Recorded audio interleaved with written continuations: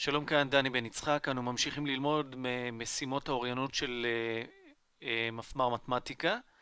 אנחנו במשימה של שחיינים שעוסקת בפונקציות והגענו לשאלה השנייה. במשך כמה זמן מסיים אבי את שחייתו? שלוש פעמים הלוך ושוב.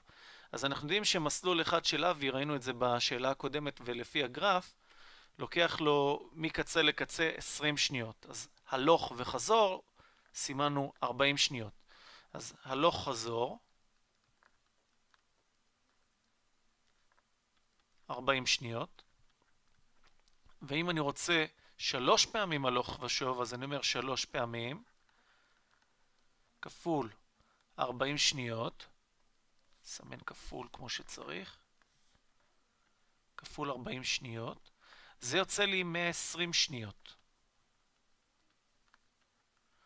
120 שניות זה בעצם שתי דקות. אוקיי, כי בכל דקה יש 60, אז מחלקים ב-60. מקווה שכולכם יודעים זאת. אז הפתרון שלנו הוא בעצם סעיף ד'. אז שחף שימי לב אם הכל ברור. אם למישהו יש שאלות, הוא מוזמן להגיב ולשאול. אם הכל ברור, נא להגיב בתחתית הסרטון שהכל ברור.